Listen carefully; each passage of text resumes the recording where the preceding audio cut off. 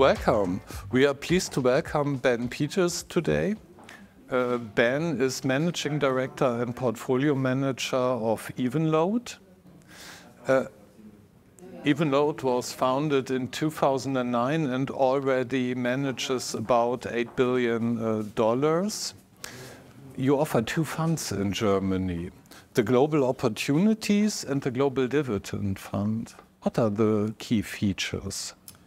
Yes, that's right. We've been uh, around since 2009. And all of the strategies, we also manage a UK uh, dividend strategy in the UK. Uh, but all of our strategies are really based around um, some basic principles, some economic principles to do with investing in businesses. So we're very much business first investors, long only equity investors.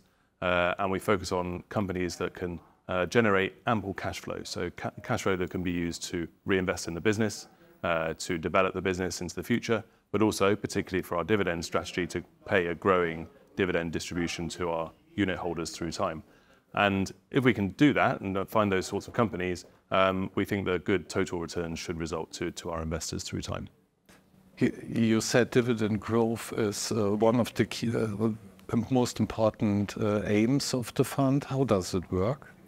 Yeah, well, dividend growth really only comes sustainably for us from good business performance. So we're investing in businesses. We can find these businesses in different sectors. So uh, we have, for example, information technology businesses, uh, consumer goods businesses, business services. Um, whichever the, the sector is, uh, the, the company needs to be in a good market position so they can maximize its, its opportunities as a business, develop its offering to clients. And if we can do that and find those businesses that, that, can invest in themselves, that can generate excess cash, then that can come back as, as a growing dividend through time. But it's really only that fundamental business performance that's going to drive that growth uh, in the fullness of time. What are the most important uh, performance drivers today?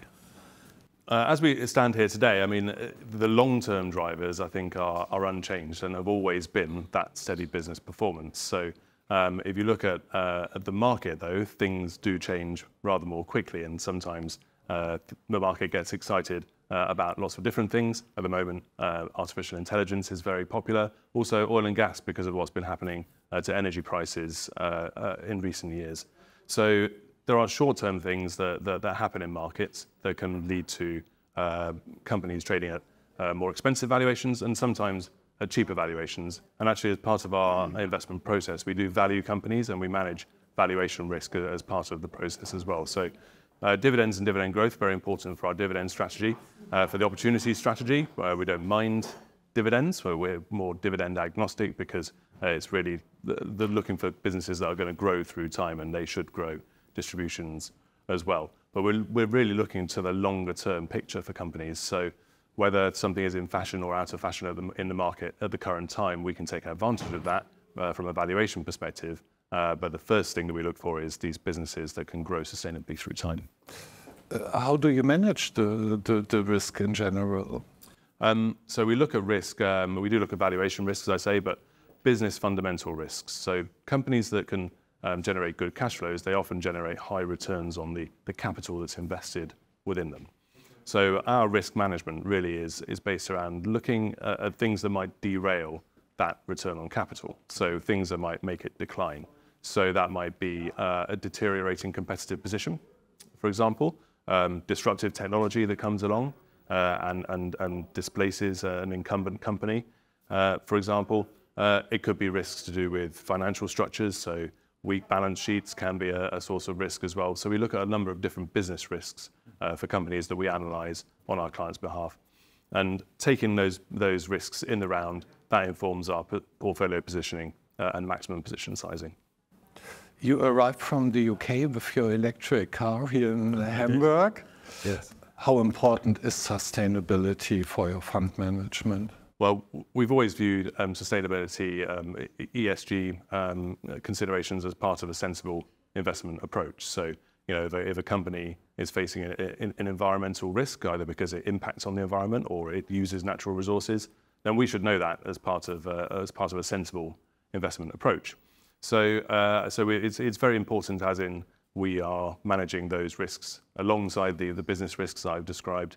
Um, and uh, we think that in integrating that into our analysis uh, and also helping companies to understand um, what we think about about their their efforts, whether it's to do with net zero or whether it's to do with the biodiversity or whatever it is. These important things, um, we we want to help companies to understand how we we think about it, how our investors think about it, but also we will obviously want to understand companies' strategies to deal with these big picture issues, which affect everybody ultimately.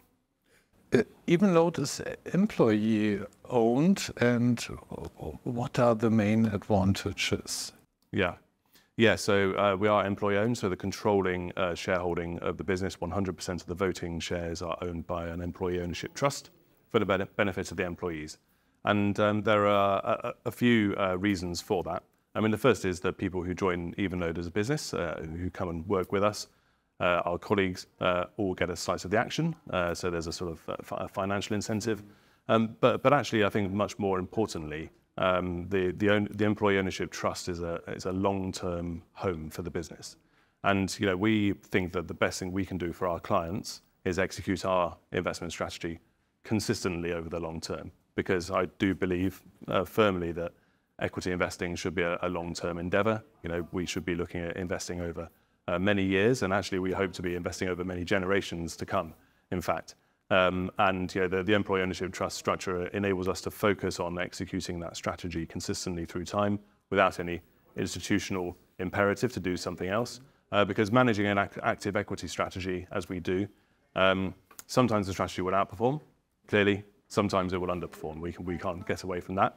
Um, and what we wanted to make sure is that in those times, whether it's good times or uh, relatively weaker times, that we're continuing to execute our investment approach um, with, with uh, precision, uh, with consistency, and continue to that through time, and also improve through time. And there's very, very, very clearly a continuous improvement mindset that we have at Evenlode, because everybody is incentivized essentially to do a good job for our clients, because only if we do a good job for our clients will we have a successful business. So that's, that's very much the cultural aspect, which is, is, is very, very important, as well as de-emphasizing the idea of building even Evenlode investment up to sell it to somebody else. You know, that's very much not the idea. You know, we want to be independent and uh, do, do our job really well for our clients. You, you started the Evenlode Foundation uh, three years ago. What, what is the goal?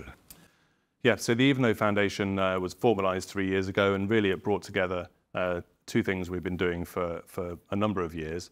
Um, it's the place where we do our charitable giving from, so it's funded with um, 20% of our net profit each year.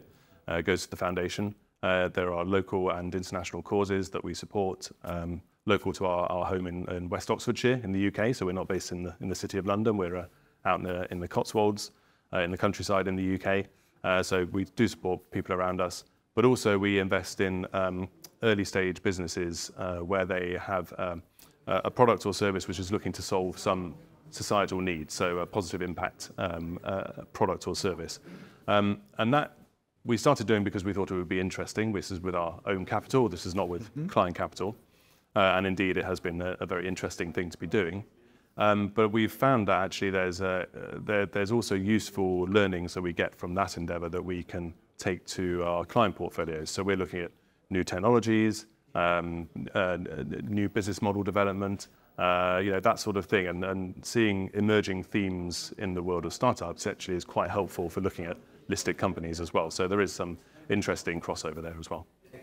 And um, the last question, I've seen your heraldic animal is an otter.